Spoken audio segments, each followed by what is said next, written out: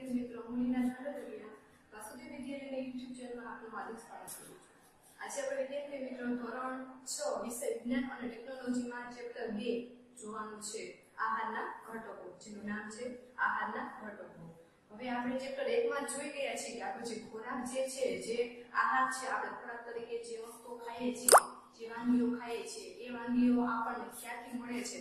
આગળના ચેપ્ટરમાં આપણે શરૂઆતમાં એ જોયું કે ખોરાક જે છે એના મુખ્ય સ્ત્રોત ક્યાં છે. એટલે ખોરાકમાં આપણે જે તે ખાદ્ય સામગ્રીનો ઉપયોગ કરીએ છીએ, એ ખાદ્ય સામગ્રી આપણને કઈ રીતે મળે છે અને ક્યાંથી મળે છે? એ આપણે આગળના ચેપ્ટરમાં જોઈ ગયા છીએ. હવે આપણે એ જોવાનું છે કે આપણે જે ખોરાક ખાઈએ છીએ, એ ખોરાકમાંથી આપણને શું મળે છે? હવે તમે જાણો કે દરેક મનુષ્ય હોય, એ જ્યાંથી એનો જન્મ થાય છે, ત્યાંથી એના સમય સમય ઉંમર ઉંમરે એના શરીરનો યોગ્ય રીતે વિકાસ થતો જાય છે, વૃદ્ધિ થતી જાય છે. તો આના પાછળનું કારણ શું છે? ખોરાક માત્ર લઈ લેવાથી જ કામ પૂરું નથી થતું. ખોરાકમાં રહેલા જે જે કંઈ વસ્તુઓ છે, ખોરાકમાં જે કંઈ પદાર્થો રહેલા છે, એ શરીરને મળે છે, ત્યારે શરીરનો યોગ્ય રીતે વૃદ્ધિ અને વિકાસ થાય છે. અને શરીરનું યોગ્ય રીતે, શરીરના યોગ્ય રીતે એ બંધારણનું ઘડતર થાય છે. તો ખોરાકમાં આપણે શું છે?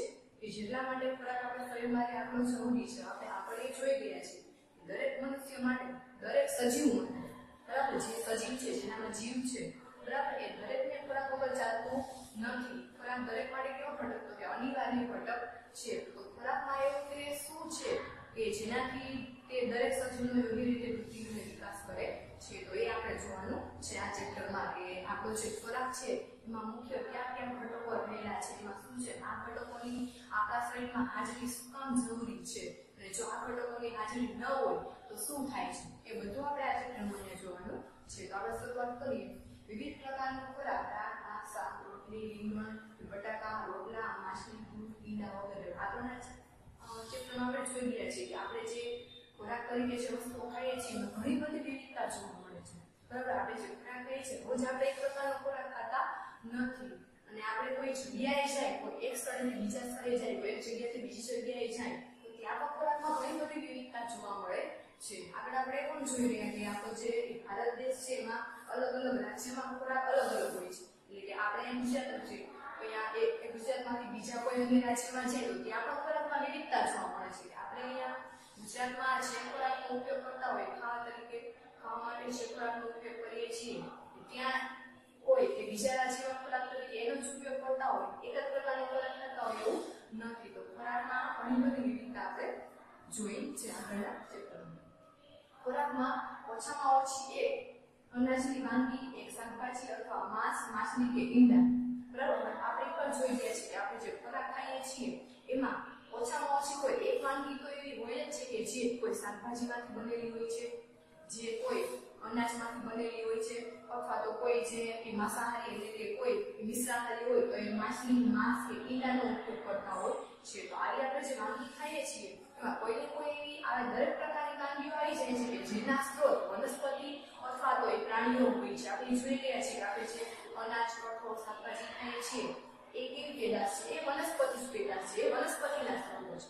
એ સિવાય માછલી માંસ, ઈંડા, દૂધ, આ બધી કેવી પેદાશ છે? તો કે એ પ્રાણી પેદાશ છે. આ બધા પ્રાણીના સ્ત્રોતોમાંથી આપણને મળી આવે છે તો આપણે જે ખોરાક તરીકે વસ્તુ ખાઈએ છીએ એમાં ઓછામાં ઓછી આ બધી આ બધી વસ્તુઓમાંથી કોઈ એક ને એક જે વાનગી હોય છે આ બધી વસ્તુઓનો ઉપયોગ થતો હોય જ છે વાનગી બનાવવા માટે ઉપયોગમાં લેવાતી ખાદ્ય સામગ્રી અને તેના સ્ત્રોત મેં આપણે એ પણ જોઈ ગયા છીએ કે આપણે કોઈ પણ એક ખોરાક કે કોઈ એક છે, તો એના માટે આપણે એકથી કે વધારે ખાદ્ય સામગ્રીનો ઉપયોગ કરીએ છીએ, ત્યારે એ વાનગી સંપૂર્ણ તૈયાર થાય છે. કોઈ એક જ ખાદ્ય સામગ્રીમાંથી કોઈ વાનગી બનતી નથી. ખાદ્ય સામગ્રી શું એ પણ આપણે જોઈ રહ્યા છીએ કે કોઈ એક પ્રકારનો ખોરાક બનાવવા માટે, એક સંપૂર્ણ રીતે તૈયાર કરવા માટે કઈ કઈ વસ્તુઓની, કઈ કઈ ચીજ વસ્તુઓની, કઈ કઈ સામગ્રીની જરૂર પડે છે બધી ખાદ્ય સામગ્રી કહેવાય છે.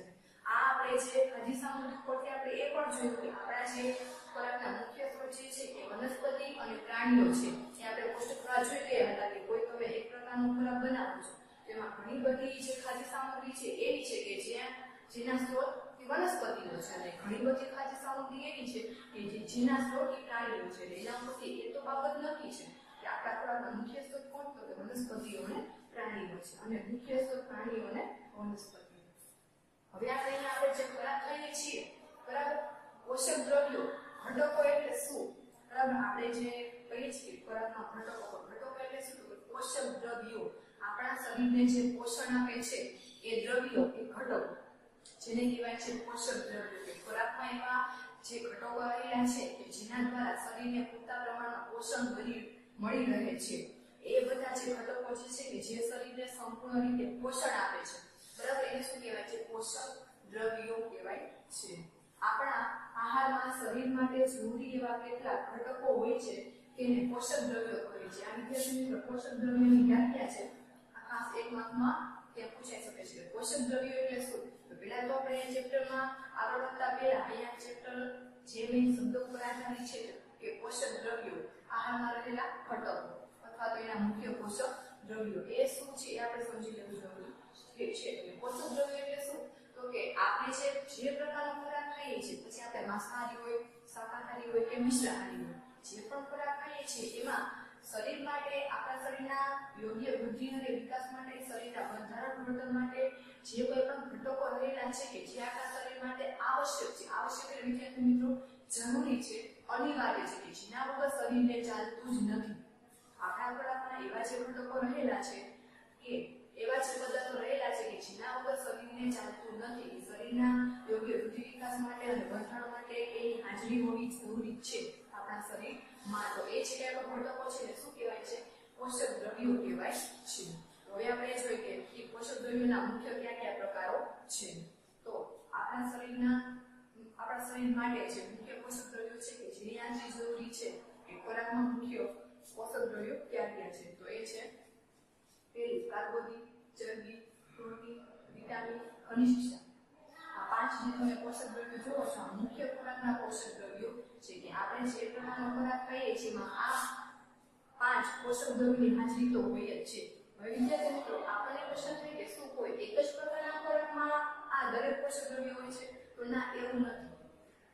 પણ એ બાબત નક્કી છે કે આપણે જે કોઈ પણ એક ખોરાક ખાઈએ છીએ, એમાં ભલે પાંચે પાંચ પોષક દ્રવ્યોની હાજરી હોય એવું જરૂરી નથી એમાં એક અથવા એકથી એક અથવા તો એકથી વધારે પોષક દ્રવ્યોની હાજરી હોય જ છે. બરાબર? આપણે તમે દાખલા તરીકે રોટલી ખાઓ છો તો રોટલીમાં ભલે પાંચે પાંચ પોષક દ્રવ્યોની હાજરી નથી, પણ આમાંથી કોઈ એક પોષક દ્રવ્ય એવું છે કે જે આપણને રોટલીમાંથી મળી આવે છે, કે જે આપણને શાકમાંથી મળી આવે છે? તો એવું જરૂરી નથી કે કોઈ એક ખોરાકમાંથી જ, કોઈ એક પ્રકારના ખોરાકમાંથી જ, કોઈ એક વાનગીમાંથી જ આપણને દરેક પોષક દ્રવ્યો મળી આવે. એવું જરૂરી નથી. પણ એ પોષક દ્રવ્યોમાં આમાંથી કોઈ એક અથવા એકથી વધારે કોષક દ્રવ્યોની હાજરી જરૂરી છે. અમુક ખોરાક એવા છે કે જેમાં આ પાંચમાંથી કોઈ એકની હાજરી હોય છે. અમુક એવા છે કે જેમાં એકથી વધારે એટલે કે બે, ત્રણ, ચાર કે અમુક એવા પણ ખોરાક છે કે જેમાંથી આપણને પાંચે પાંચ પોષક દ્રવ્યો મળી આવે છે એટલે કે જે સંપૂર્ણ આહાર કહેવાય છે. તો એ આપણે જોવાનું છે કે આ પ્રકારના એવા ખોરાક છે કે જેમાંથી આપણને આજે પાંચ પોષક દ્રવ્યો છે. જે કાર્બોદિત ચરબી વિટામિન અને ખનિજ ક્ષાર આ દરેક વિશે આપણે વિસ્તૃતમાં ચર્ચા કરવાની છે અને હાજરી પણ તપાસવાની છે. હવે આપણને પ્રશ્ન એમ થાય કે ક્યાં ખોરાકમાં ક્યાં પોષક દ્રવ્યો નિહાસિક છે? એ કઈ રીતે નક્કી કરવું? કે આપણને કઈ રીતે ખબર પડે? તો એના માટે અહીંયા આપણે તપાસ એટલે કે પરીક્ષણ કરવાના છે, એટલે કે ખોરાક ઉપરના ત્યાં પ્રયોગ કરવાના છે કે ક્યાં ખોરાકમાં ક્યાં પોષક દ્રવ્યોની હાજરી છે. બરાબર? અને એ સિવાય આ જે પાંચ મુખ્ય પોષક દ્રવ્યો છે. એ સિવાય આપણા ખોરાકમાં બીજી શેની હાજરી હોય છે? તો કે પાચક રેસા અને પાન આપણે જે ખોરાક ખાઈએ છીએ, એમાં આ પોષક તત્વોની હાજરી તો હોય જ છે. એ સિવાયના એ પાચક રેસા હોય છે. પાચક રેસા શું કામ કરે? તો કે આપણે જે ખોરાક ખાધો છે, એ ખોરાકમાં જે ઘટકો રહેલા છે, બરાબર? આ પાંચમાંથી કોઈ પણ, એ ઘટકોનું સંપૂર્ણ રીતે પાચન કરી નાખે છે અને એ પાચનમાંથી શરીરને જરૂરી શક્તિ અને ઊર્જા પૂરી પાડે છે. આ સિવાયના પાચન રેસાઓ હોય છે, એ જે ખોરાકમાં રહેલા ઘટકોનું સંપૂર્ણ રીતે પાચન કરી નાખે છે અને એ પાણી. એ આપણે જે ખોરાક ખાઈએ છીએ એમાં પાણી પણ હોય છે. તમે જાણો છો કે આપણે કોઈ ખોરાક ખાઈએ છીએ, અથવા તો જે ખોરાક ખાઈએ છીએ, એ ખોરાક બનાવવા માટે પાણીની હાજરી તો જરૂરી છે. કોઈ પણ એવો ખોરાક નથી કે જેમાં એ પાણી વગર બનતો હોય. તો આપણે જે ખોરાક ખાઈએ છીએ, તેમાંથી શરીરને પાણી પણ મળી રહે છે. આ પોષક દ્રવ્યોની સાથે સાથે હવે આ ખાસ વિદ્યાર્થી મિત્રો કે આ પાંચ પોષક દ્રવ્યો અને એ સિવાયના બે આ એક માર્ક્સનો પ્રશ્ન પૂછાય છે કે આપણા પરના મુખ્ય ઘટકો ક્યાં છે અથવા તો મુખ્ય પોષક દ્રવ્યો ક્યાં છે તો મુખ્ય પોષક દ્રવ્યો આવે એટલે પાંચ કાર્બોદી ચરબી પ્રોટીન વિટામિન અને ખનિજ ક્ષાર ફરીથી કાર્બોદિત ચરબી પ્રોટીન વિટામિન અને ખનિજ ક્ષાર આ દરેક વિશે આપણે વિસ્તૃતમાં જાણવાનું છે પહેલા આપણે આ ચિત્રમાં શેના વિશે આપણે જોવાનું છે એ જાણી લઈએ તો આપણને આગળ સરળતા રહે તો હવે આપણે પિક્ચરમાં શું જોવાનું છે હવે હવે આપણે હવે આપણે ત્યાર પછી એ જોવાનું છે કે ખોરાકમાં જે આ જે પોષક દ્રવ્યો છે, હાજરી કેમ તપાસવી? એના માટે આપણે પ્રયોગ કરીશું અને જોઈશું કે કયા ખોરાકમાં કયા પોષક દ્રવ્યોની હાજરી છે. એના માટે કાર્બોદિત ચરબી અને પ્રોટીનનું પરીક્ષણ સરળ છે. હવે વૈવિધ્ય મિત્રો જે પાંચ પોષક દ્રવ્યો છે, એમાંથી આ છે ત્રણ પોષક દ્રવ્યો એવા છે કાર્બોદિત ચરબી અને પ્રોટીન, કે જેની આપણે ખોરાકમાં હાજરી છે કે નહીં, એ તપાસવી સહેલું છે. તેનું એક પરીક્ષણ કરવું એટલે તેની તપાસ કરવી તેના પ્રયોગ કરવા સહેલા છે. પણ એ સિવાયના જે બે ઘટકો છે, વિટામિન અને ખનિજ ક્ષાર, એ ખોરાકમાં છે કે નહીં, એનું, એની હાજરી તપાસવી થોડી અઘરી છે. બરાબર? એટલે સરળતાથી આપણે જાણી શકતા નથી કે કયા ખોરાકમાં ખનિજ ક્ષારની હાજરી છે વિટામિનની હાજરી છે.